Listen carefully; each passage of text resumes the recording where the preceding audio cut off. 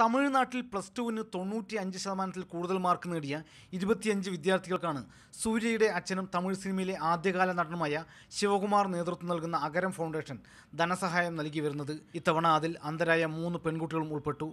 അടയാറിൽ നിന്നുള്ള കാമാക്ഷി തിരുനെൽവേലിയിലെ മുത്തുമാരി പരണത്തെ കലൈമണി എന്നിവർക്കാണ് താരകുടുംബത്തിന്റെ കൈത്താങ് ഇത്തവണ ലഭിച്ചത്. ഇതിൽ മുത്തുമാരിക്ക് ഇംഗ്ലീഷ് പ്രൊഫസറാകണമെന്നാണ് ആഗ്രഹം. ഞാൻ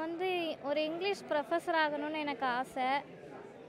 அது நான் அந்த அதனால் நான் அது அதை அந்த ஆம்பிஷனை என் மனசில் வச்சு நான் வெறித்தனமாக படிக்கணும்னு நினச்சிருக்கேன். இங்கிலீஷ் தான் எனக்கு ரொம்ப பிடிக்கும். அதனால் இங்கிலீஷ் ப்ரொஃபஸர் ஆகணும்னு நான் சொல்லிகிட்டே இருந்தேன் പരണത്തെ കലൈമാമണിക്ക് പക്ഷേ ജനസേവനത്തിന് കളക്ടറാകണമെന്നാണ് ആഗ്രഹം என்ன மாதிரி இருக்க பிள்ளைங்களும் நல்லா என்னை பார்த்து eh, நல்லா படித்து அவங்களும் முன்னேறணும் எல்லாருக்கும் நான் உதவி செய்யணும் ஏ ஏழ்மையாக இருக்கிறவங்க கஷ்டப்படுறவங்க அவங்களுக்குலாம் நிறைய ஹெல்ப் பண்ணணும் அப்படின்னு என் மனசுக்குள்ளே தோணுச்சு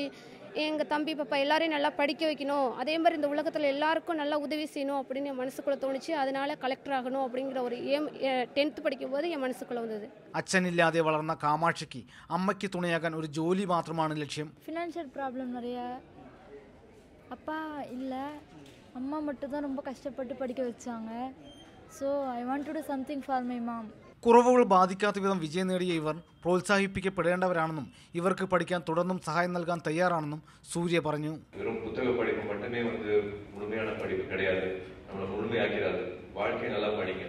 வெளியில என்ன நடக்குதுங்கிறதையும் காது கொடுத்து கேளுங்க நல்லதை மட்டுமே மனசுக்குள்ள வச்சுங்க கெட்டதை மனசுக்குள்ள வச்சுக்க வேண்டாம் സൂര്യയുടെ അനുജനും നടനുമായ കാർത്തി ശിവകുമാർ എന്നിവരും ചടങ്ങിൽ പങ്കെടുത്തു പതിനായിരം രൂപയാണ് ഓരോരുത്തർക്കും സഹായമായി നൽകിയത് മാതൃഭൂമി ന്യൂസ് ചെന്നൈ